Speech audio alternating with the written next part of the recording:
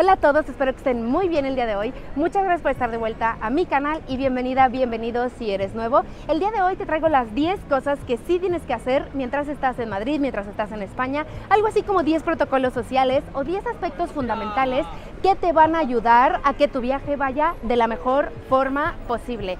El primero de ellos sería sé un turista y disfruta de ser un turista. Está bien que querramos viajar conociendo los sitios más auténticos y buscando esas joyas escondidas, pero creo que si es tu primera vez en Madrid, tu segunda vez en Madrid, está perfecto que vayas a las atracciones principales y que seas un turista. En esto te querría decir que mientras estés visitando esos museos, esas tabernas clásicas, esos sitios imperdibles, seas amable con las personas que trabajan ahí, porque normalmente hay muchísimo turisteo, muchísimo jaleo, muchas personas, así que hablarles con una sonrisa, tener un poquito de paciencia, decirles por favor y gracias, te apuesto que te va a traer lo mejor de todo, porque hay personas que van a ser más amables, te pueden traer tapitas extra o te pueden ayudar de la mejor forma posible y todo comienza con una sonrisa.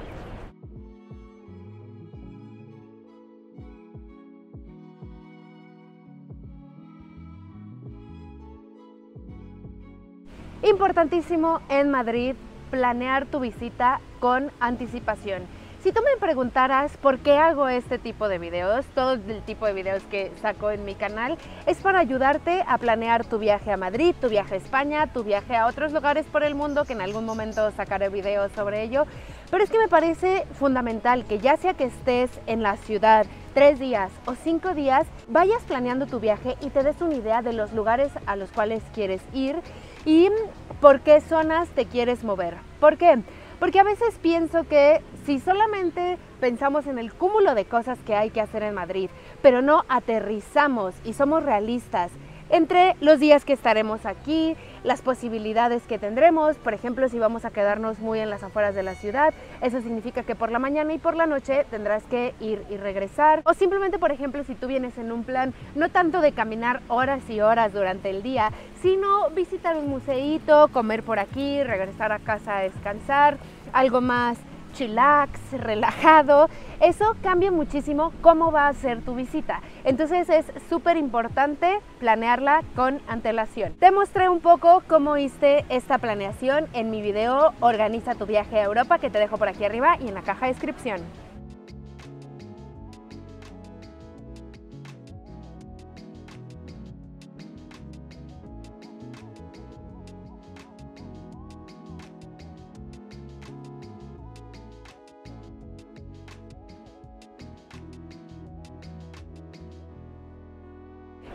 Tres que sí hacer en Madrid es preguntar. Preguntar por todo, preguntar a todos. Bueno, preguntar dónde se tiene que preguntar, como lo son los centros de turismo, las oficinas de turismo, los kioscos de turismo, porque créeme que ser preguntón o preguntona funciona. Los kioscos de turismo los podemos encontrar enfrente del Museo del Prado, en Las Cibeles, en Plaza Mayor. Por ejemplo, aquí está la oficina central, por así decirlo, en Puerta del Sol. Y aquí no solamente habrá personas que hablen distintos idiomas, también hablarán lenguaje de señas, pero ellos te podrán dar mapas, te podrán ayudar a enseñarte cómo moverte dentro de la ciudad, te podrán decir planes y toda la información y dudas que tengas sobre tu visita a Madrid. Un bonus es que aquí encontrarás Es Magazine, como la podrás ver aquí, que es una revista completamente gratuita en donde encontrarás todos los planes que hay en el mes, distintas exposiciones, conciertos, concursos, por ejemplo, eventos que están sucediendo como ahora en octubre Tapapiés, etcétera, etcétera. Así que no dudes en pasarte y preguntar. Yo te recomendaría alejarte de los lugares donde venden tours específicamente, porque ahí ¿Qué van a querer hacer? Venderte. Venderte un free walking tour, venderte Big Bus Madrid, venderte de estas bicicletas donde te subes y recorres Madrid o recorres Madrid en Segway también, por ejemplo. Así que yo los evitaría y mejor vete a un lugar oficial porque aquí encontrarás personas que manda el Ayuntamiento de Madrid que están destinadas únicamente a ayudarte y es completamente gratuito.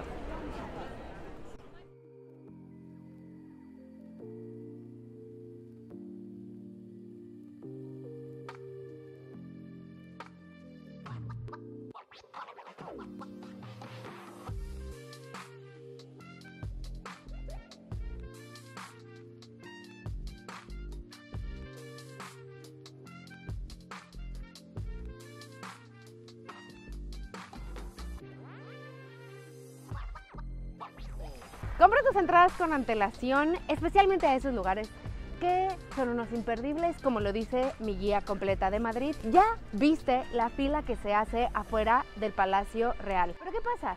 Si tú te vas en línea y compras tus entradas con anticipación, la fila es mucho más cortita y podrás acceder más rápidamente. No me canso tampoco de decirlo, reserva en los restaurantes en los que sí o sí quieras comer, porque a veces sí, puedes llegar y encontrarás una mesa. Pero muchas otras veces te dirán, ¿sabes qué? Ya estamos llenos, solamente te puedes sentar en la barra. Que a mí me encanta sentarme en las barras. Pero si quieres darte una muy buena comida, yo te aconsejo que reserves esos lugares.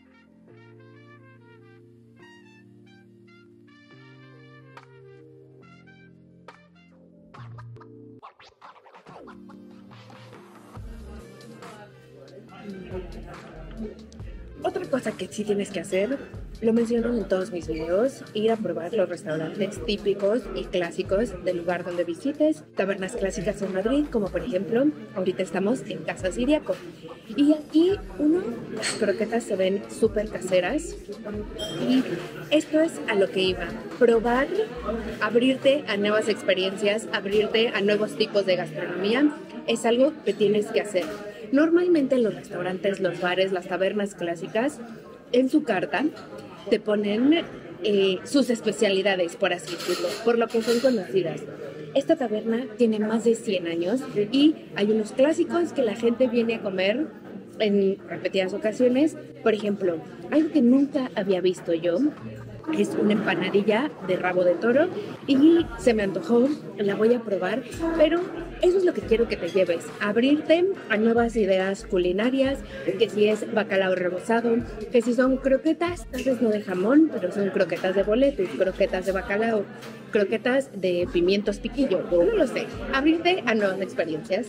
El siguiente punto del cual quiero hablarte el día de hoy, aprovecho que acabamos de salir de casa siriaco y es el tema de dejar o no dejar propina. Es algo que me han preguntado también varias veces en los comentarios.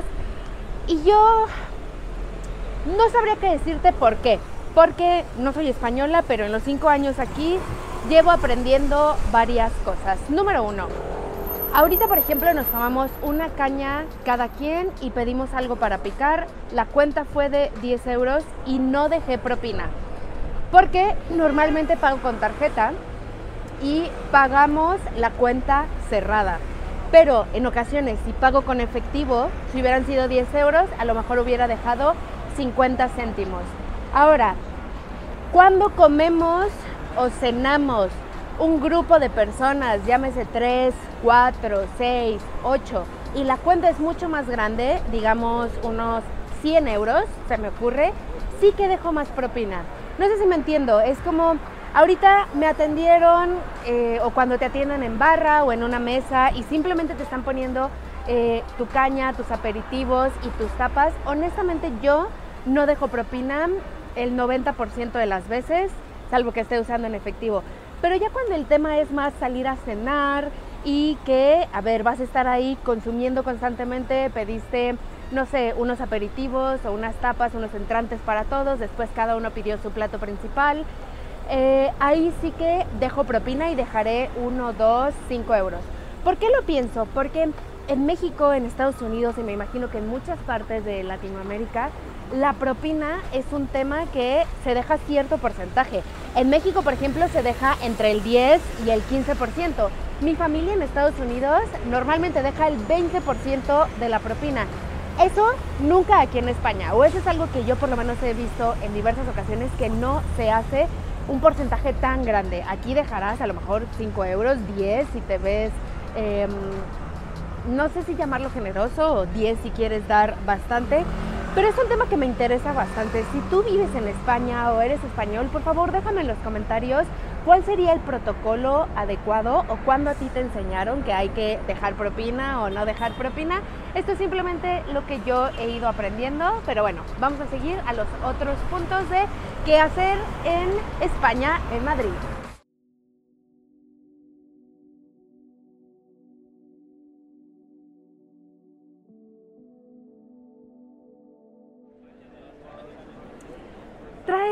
Ropa y zapatos cómodos en Madrid es un must. Es algo que sí o sí tienes que hacer y me gusta incluirlo porque he recibido varios comentarios de cómo está el clima en Madrid en marzo, cómo está el clima en diciembre, cómo está el clima en junio, julio. Y ya he hecho un par de videos sobre eso, pero creo que para especificar unos puntos súper, súper importantes sería siempre traer, ya sea sneakers, trainers, zapatillas, como sea que tú le llames, a los tenis.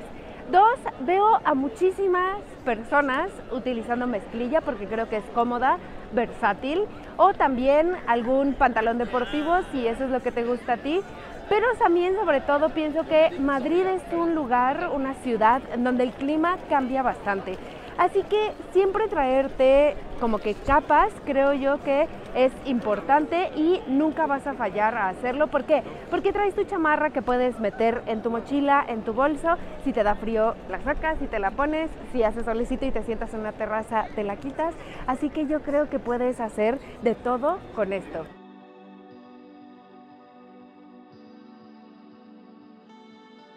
Punto número 8 y algo que sí puedes y te recomiendo hacer en Madrid es utilizar el metro y toda la vía de transportes públicos que Madrid ofrece y que en general las grandes ciudades de España ofrecen. Y tú has visto en mis videos de Asturias, del norte de España, hay trenes y hay buses. Entonces, utilízalos. Si ya hablamos de traer ropa cómoda y zapatos cómodos, déjame decirte que no tienes por qué sufrir. Utiliza el metro. Así vayas a cogerlo y moverte por dos estaciones o por tres estaciones. Lo importante es de que te hagas tu viaje lo más placentero posible. Te voy a contar también que hay unas líneas de autobuses que a veces son gratuitas. Entonces vamos a brincar a ese apartado porque si tú investigas qué líneas de autobuses en el centro de Madrid son gratuitas cuando estés visitando esta ciudad, pues mejor aún, no vas a tener que pagar y si no, ya sabes que pagando aproximadamente 13 euros tendrás 10 viajes para utilizar en metro, autobús y cercanías en el centro de Madrid. El sistema de autobuses de Madrid muchas ocasiones pone a tu disposición líneas completamente gratuitas y haciendo una búsqueda rápida en Google encontrarás los días que serán gratuitos o las líneas que serán gratuitas. Y tengo entendido que en verano pasa con mucha más frecuencia, pero me parece que es algo que vale la pena buscar si vas a estar moviéndote por la ciudad.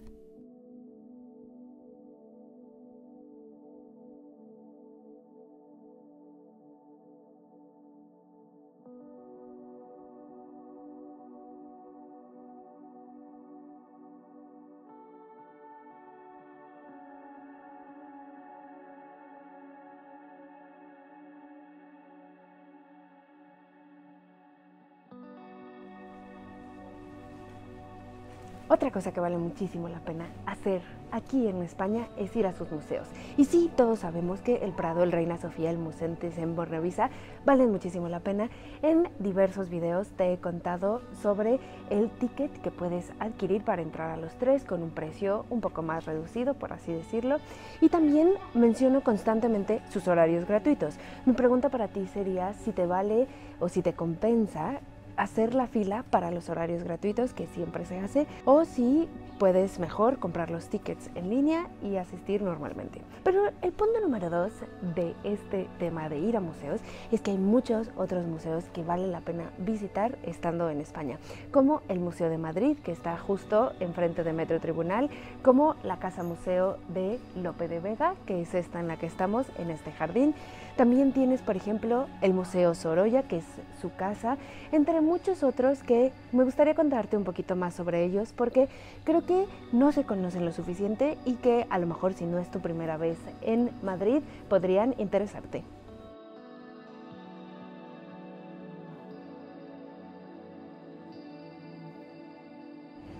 Último en el video del día de hoy que sí tienes que hacer en Madrid y en España es llevarte unos muy buenos recuerditos, pero unos recuerditos que valgan la pena. No cualquier imán de refri o llavero para tus llaves del coche o de la casa, sino algo 100% hecho aquí en España, en este bello país. Por ejemplo, atrás de mí tengo la Real Fábrica Española y este es uno de mis lugares favoritos, ubicado en el barrio de las Letras, que por cierto ya sabes que hice un video sobre este barrio, te lo dejo arriba y en la caja de descripción.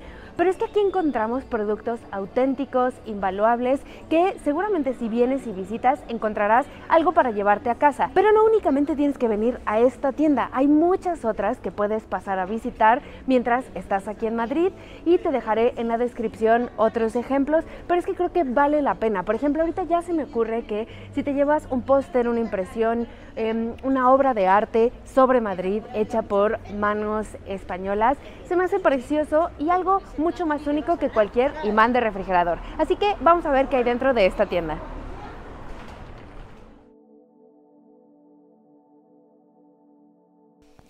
Tiendas como esta podemos encontrar todo tipo de artesanías, por llamarle de alguna forma, españolas. También encuentras libros de cocina y productos y marcas clásicos españoles como ropa, jabones, velas, entre otras cosas. E inclusive encontrarás una sección de productos como vinos, aceites y vinagres que podrás llevarte a casa y disfrutar con tu familia cuando vuelvas a tu país. Encontramos también otro tipo de tiendas como las de sobreros o abanicos que se encuentran en Puerta del O en Plaza Mayor, que son bastante clásicas y típicas y que valdría la pena pasarse aunque estén en los puntos más turísticos.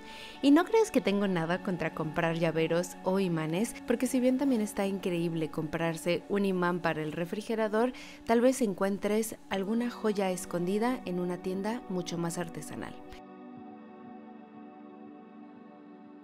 Pero bueno, esto va a ser todo por el video del día de hoy. Muchas gracias por llegar hasta aquí. Recuerda que te dejo la guía completa de Madrid y también te dejo la lista de reproducción donde encontrarás los distintos barrios que vale la pena visitar en esta bella ciudad. Nos vemos en la próxima y te mando un abrazo.